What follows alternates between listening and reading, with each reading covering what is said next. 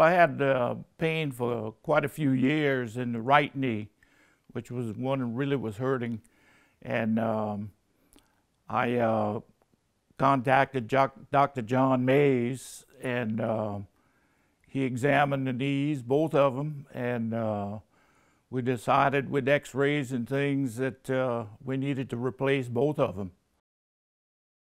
I had the, uh, the first one done in August, and then we did the second one in October, and the recovery was very easy.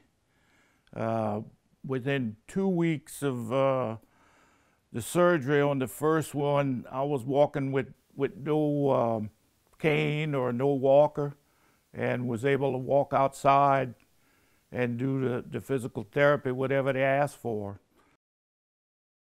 Before I had the knee done, it was you'd, you'd be walking and it was a shocking pain, like you know, in the in the joint, and uh, you'd almost fall down.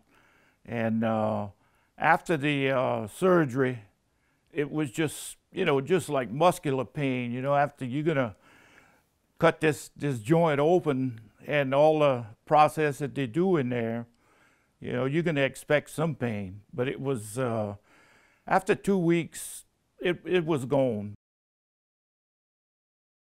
Well, you sleep better because uh, even though you wasn't walking on that knee, uh, at night it would it would just you know be sore, and it would swell. It was it was swollen all the time, and uh, you had to always try to find a a position to put it in so you could sleep so it wouldn't hurt. And um, it's a lot better getting in and out of a car because you, you couldn't bend it, means it was swollen.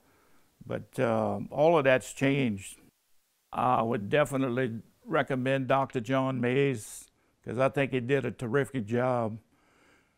You know, Dr. John Mays and Willis Knighton, you know, I was really satisfied with him.